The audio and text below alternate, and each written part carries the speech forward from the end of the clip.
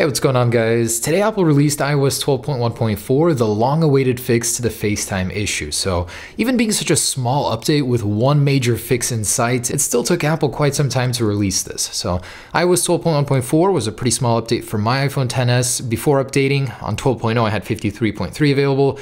After, as you can see, basically harmony restored, nothing added or uh, deleted barely. But let's go ahead and cover everything that's changed, kind of give you the scope of the landscape because it is shifting. The jailbreak does change that. So let's give you a little refresher on what's going on right now. So yes, this release does fix group FaceTime. It will work perfectly now. Apple has restored the servers so long as you are on iOS 12.1.4. If you're on an earlier firmware, group FaceTime will no longer work for you. And that's why the jailbreak is so crucial here because the only way to restore that functionality, even temporarily, will be to jailbreak. So if you guys don't want to update, you're either stuck with a jailbreak or on a device that doesn't work with group FaceTime anymore. So just be aware of what's going on with that. Otherwise, I wasn't able to really find any changes. Still feels the same. iOS 12.1.3 to 0.4, you know, it's a small update. So I wouldn't really expect anything big. Now, if you guys are waiting on the jailbreak, let's talk about that for a moment.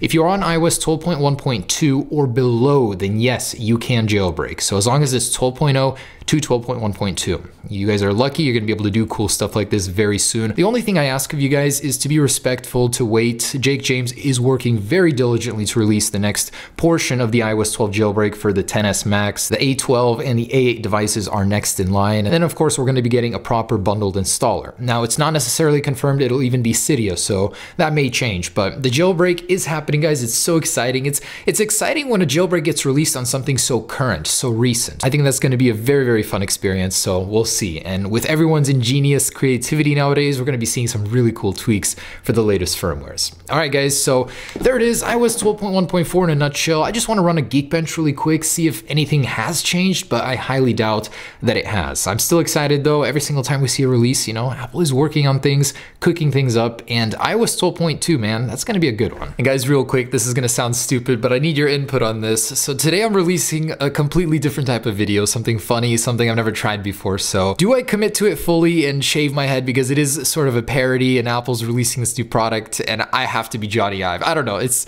it's a thought. If you guys want me to or do you think that's crazy, let me know. And would you look at that? Pretty much no difference from my 10R on iOS 12.2. So looking good there iOS 12.1.4, nothing wrong with it. Definitely update to it if you want to be using the latest group time features. But uh, on my iPhone, I'm going to be holding off on 12.1.2, guys. I'm so excited. We're going to be able to customize every single little nook and cranny of the iPhone. It's going to be perfect, and I'm so, so excited. Mostly control center tweaks, the dark mode stuff.